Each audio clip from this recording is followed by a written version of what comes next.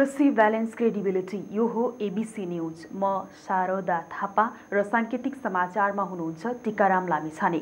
कार्यक्रम हो hot news express no break no ad हामी ब्रेक लिँदैनौँ र समाचार दिन्छौँ तीव्र गतिमा निरन्तर। एबिसी न्युजको फरक र स्पेसल प्याकेज हो hot news express hot news एक्सप्रेसबाट तपाईँले हाम्रो देशको तात्तातो अवस्था र त्यसको इन्स्ट्यान्ट प्रभाव आङ्कलन गर्न सक्नुहुन्छ। Express. सुरु गरौँ हट न्युजबाट प्रतिनिधि सभा नियमावली दुई हजार पचहत्तर पारित भएको छ।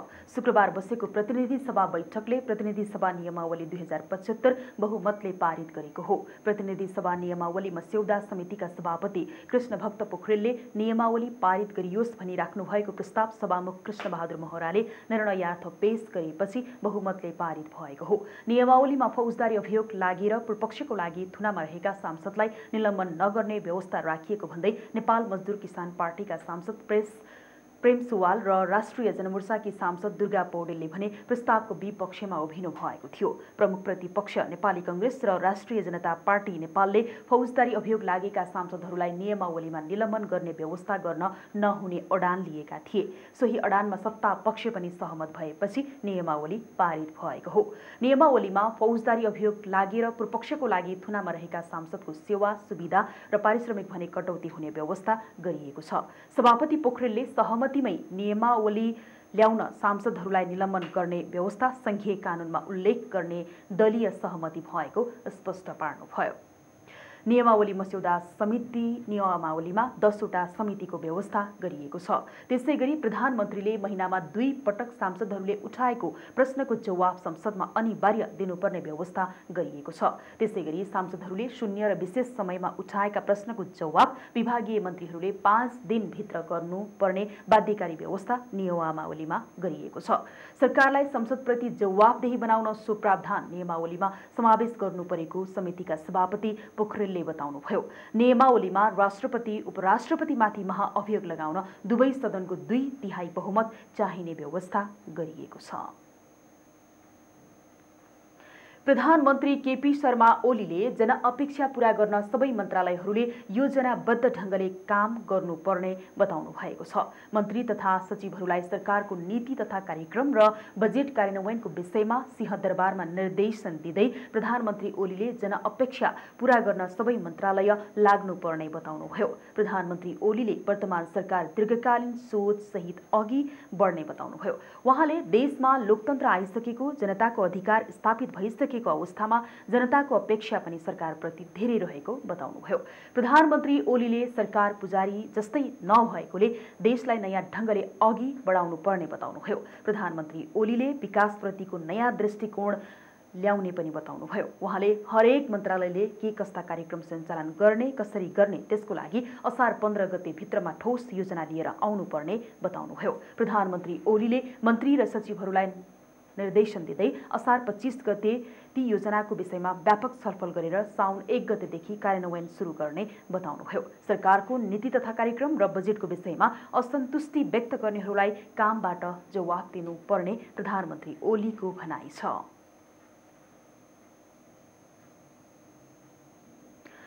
संस्कृति पर्यटन तथा नागरिक उड्डयन मन्त्री रविन्द्र अधिकारीले विभिन्न प्रज्ञा प्रतिष्ठान र सांस्कृतिक संस्थान एक आपसमा गाब्न नभई संरचनागत सुधारमा मात्र सरकार अघि बढेको बताउनु भएको छ।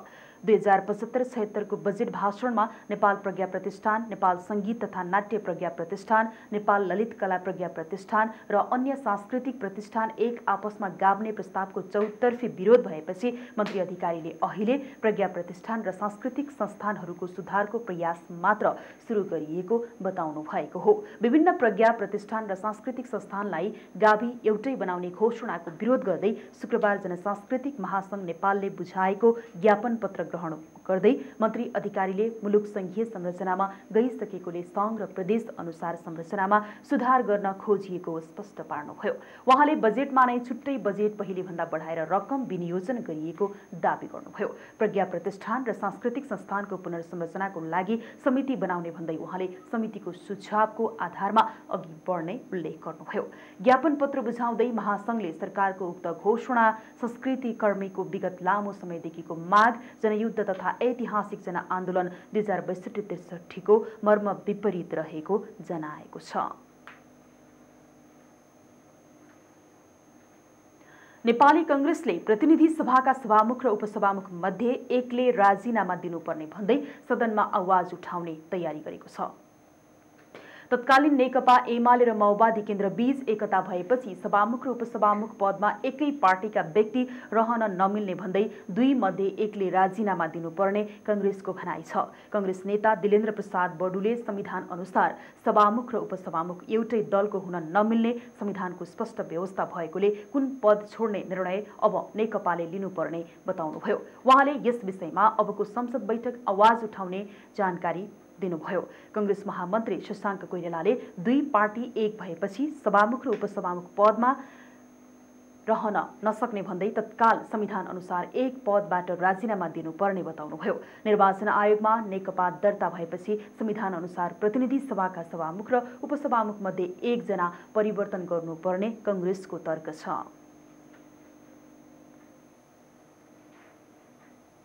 आर्थिक वर्ष दुई हज़ार पचहत्तर छयत्तरको लागि प्रदेश नंबर पाँच पाँचको नीति तथा कार्यक्रम प्रदेश नम्बर पाँच सभामा प्रस्तुत गरिएको छ। प्रदेश सभाको बैठकलाई सम्बोधन गर्दै प्रदेश सभाका प्रदेश प्रमुख उमाकान्त झाले प्रदेश सरकारको नीति तथा कार्यक्रम प्रस्तुत गर्नुभएको हो। प्रदेश प्रमुख झाले प्रस्तुत गर्नुभएको नीति तथा कार्यक्रममा प्रदेशको मूल लक्ष्यमा समृद्ध प्रदेश सुखी जनतालाई मूल नारा बनाइएको छ। प्रदेशलाई समृद्ध बनाउन आर्थिक सामाजिक र सांस्कृतिक उत्थानलाई विशेष महत्त्व दिँदै विभिन्न कार्यक्रमहरू तय गरेको छ। सरकारको नीति तथा कार्यक्रम कार्यक्रमका अनुसार चार अर्थात् जल जमिन जन र जनशक्तिको भरपूर उपयोग गरी प्रदेशलाई समृद्ध बनाइनेछ। सरकारी कार्यक्रममा प्रदेशको नेपालगञ्ज कोहलपुर तुलसीपुर घोराही र बुटवल भैरवा गरी तीन स्थानमा विद्युतीय बस सञ्चालन गरिने तीनवटा महानगर बनाइने एक पालिका एक शीत भण्डार निर्माण गरिने समग्रमा रामग्राममादेखि तिलौराकोटसम्म मनोरेल सञ्चालन गर्ने जस्ता कार्यक्रमहरू समावेश गरिएका छन्। कार्यक्रममा यसै वर्षदेखि अर्ग्यानिक उत्पादनको प्रमाणीकरण गर्ने कानुनी व्यवस्था मिलाइने सरकारी जग्गालाई व्यावसायिक खेती गर्न भाडामा उपलब्ध गराउने च्याउ पुष्पखेती तथा सरकारी उत्पादक किसानलाई अनुदान दिने व्यवस्था मिलाइएको छ। नीति तथा कार्यक्रमले समयमा काम नसक्ने ठेकेदार कम्पनीलाई प्रदेशमा प्रवेश निषेध गरिने उल्लेख गर्दै फागुन तीन गतेलाई प्रदेश दिवस घोषणा गर्दै प्रदेशमा उल्लेख्य काम गर्ने विभिन्न व्यक्तित्वलाई प्रदेश दिवसको अवसरमा मान पदवी प्रदान गरिने बताइएको छ। कोहलपुर स्थित नेपाल टेलिभिजन र दाङको रेडियो नेपालको रिपिटर सेन्टरलाई प्रदेश स्तरीय प्रसारणको रूपमा विकास गरिने कार्यक्रममा उल्लेख छ। त्यस्तै प्रदेश सभाका सांसदहरूले संघीय सरकारको बजेटलाई प्रदेश सरकारको नीति तथा कार्यक्रमले आत्मसात गर्न नसकेको आरोप लगाएका छन्। कार्यक्रममाथि टिप्पणी गर्दै प्रमुख विपक्षी दल नेपाली कङ्ग्रेसका मुख्य सचेतक सुरेन्द्र हमालले नीति तथा कार्यक्रम कार्यान्वयन गर्न पन्ध्र वर्ष लाग्ने बताउनुभयो। संघीय समाजवादी फोरम नेपालका सांसद विजय यादवले सांसदहरूलाई सम्बोधन नै नगरी बनाइएको नीति तथा कार्यक्रम हावादारी भएको आरोप लगाउनुभयो। नीति तथा कार्यक्रम प्रस्तुत गर्न संसद भवन बुटवल पुग्नुभएका प्रदेश प्रमुख शाहलाई प्रदेश सरकारका मुख्यमन्त्री शङ्कर पोखरेल उपसभामुख किस्नी चौधरी मन्त्रीहरू तथा प्रदेशसभा सचिव मानबहादुर विकले स्वागत गर्नुभएको थियो।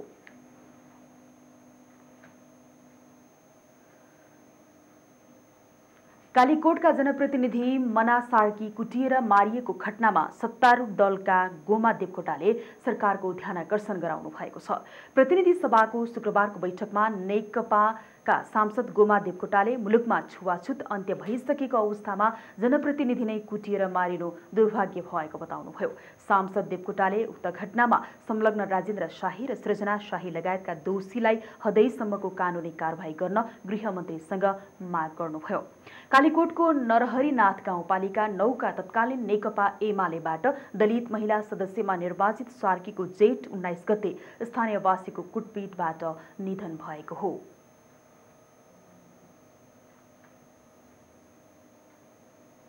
अब पालो हट रिपोर्टको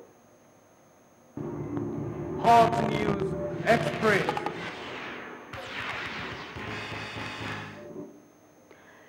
मन्त्री या कर्मचारी सबैको आफ्नै दायित्व हुन्छ तर पछिल्लो समय नेपालका मन्त्रीहरूको काम गराइने सरकारी संयन्त्र परिचालनमा भन्दा सस्तो लोकप्रियताको स्टन्टबाजीमा बढी नै रुचि देखिएको हो कि जस्तो देखिन्छ सरकारका मन्त्रीको गतिविधिमाथि र ताली र गाली हुनु स्वाभाविक हो।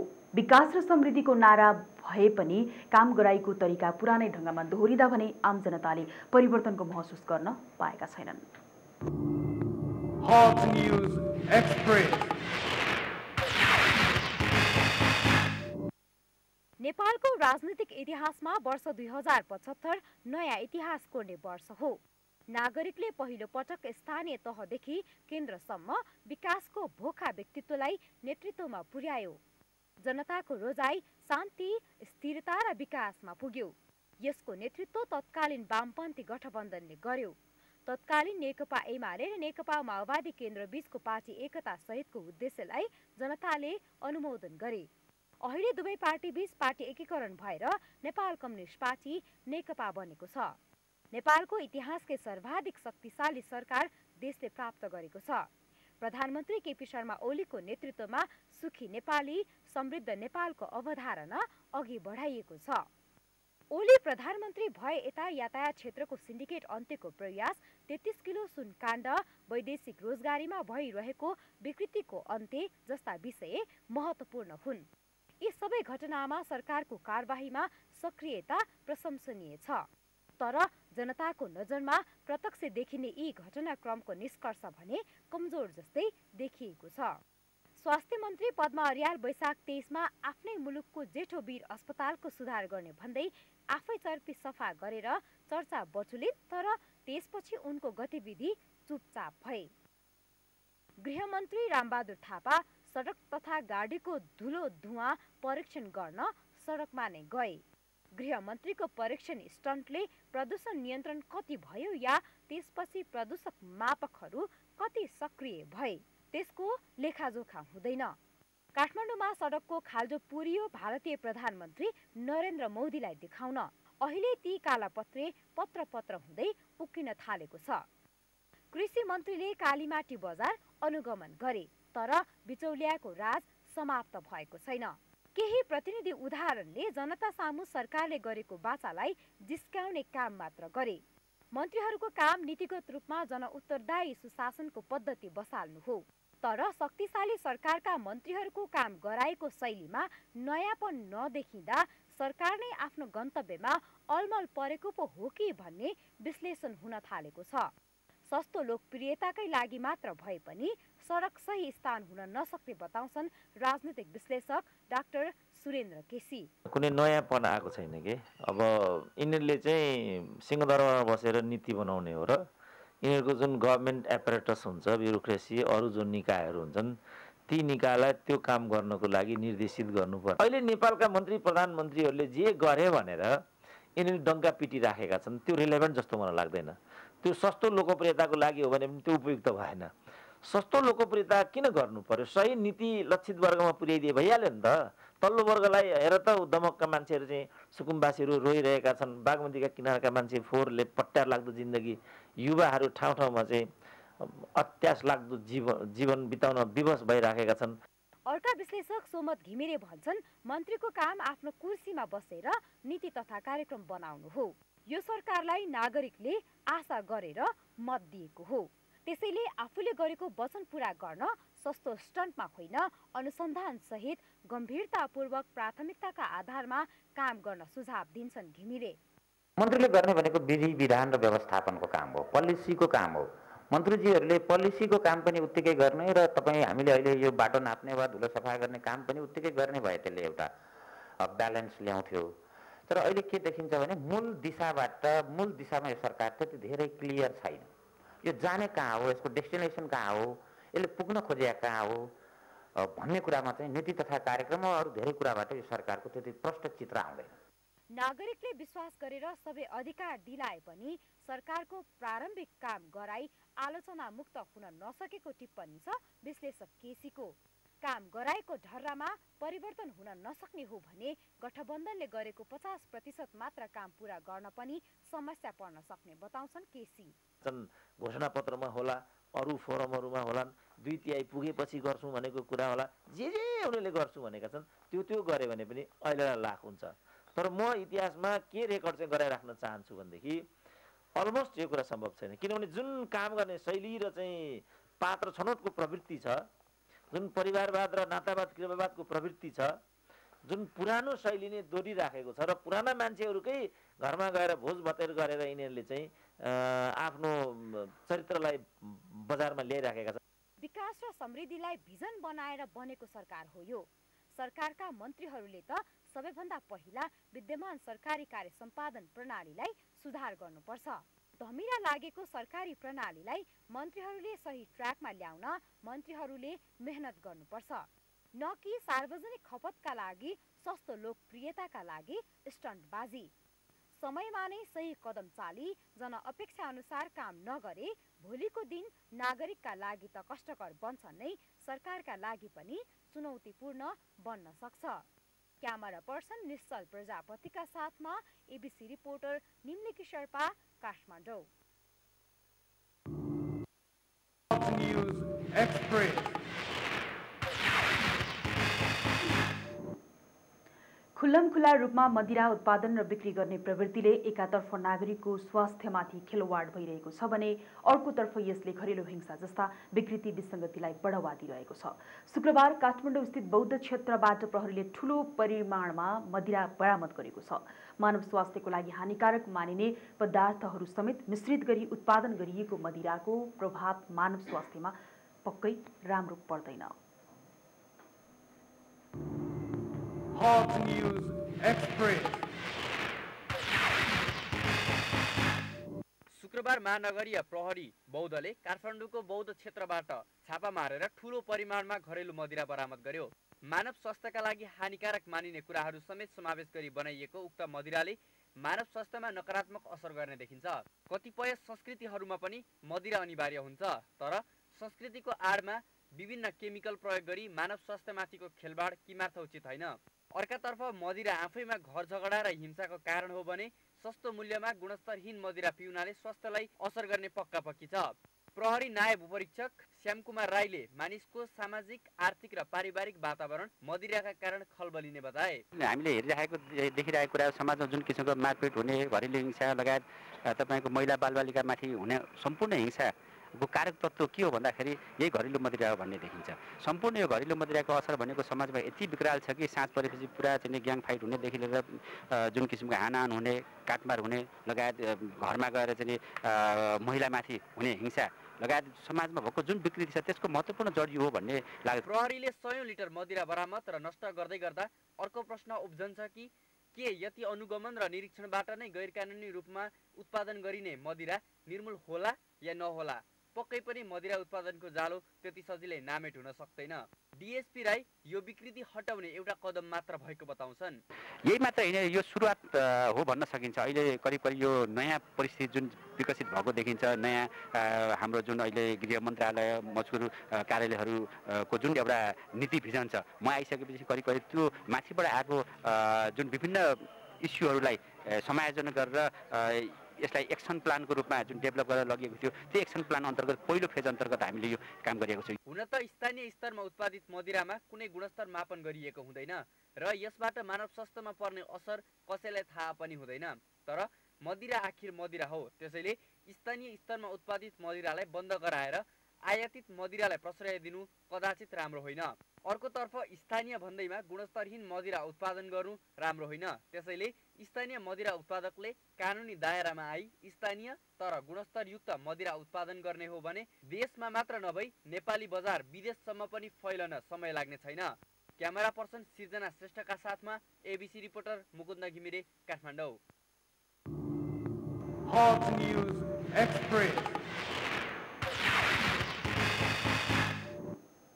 अब पालो ट्विट अफ द डेको।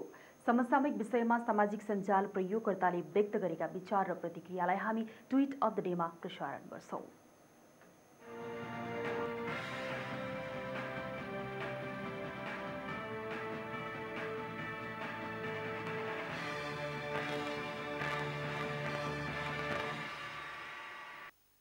समसामयिक विषयमा सामाजिक सञ्जाल प्रयोगकर्ताले पोस्ट गरेका ट्विटहरू आजको ट्विट अफ द डेमा समावेश गरिएको छ।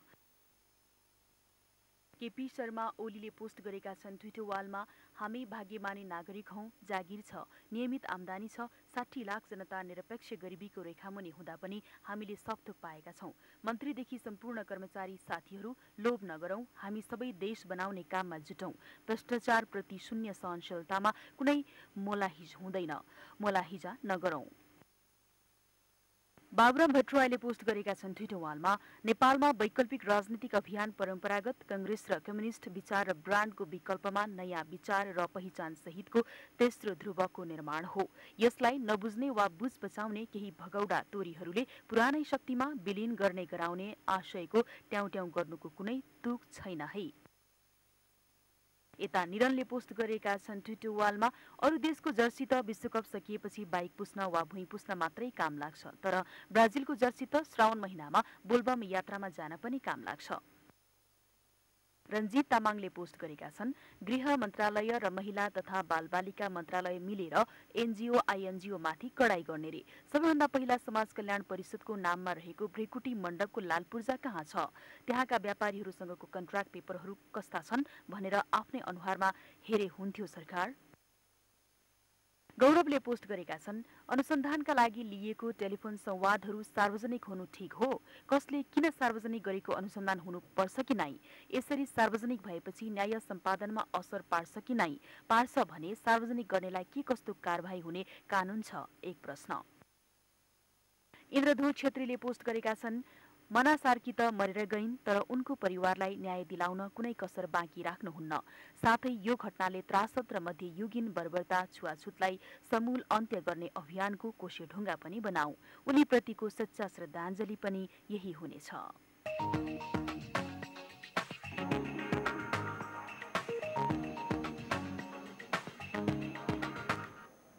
हामीलाई ट्विटरमा एबिसी डिबेटमा फलो गर्न सक्नुहुन्छ।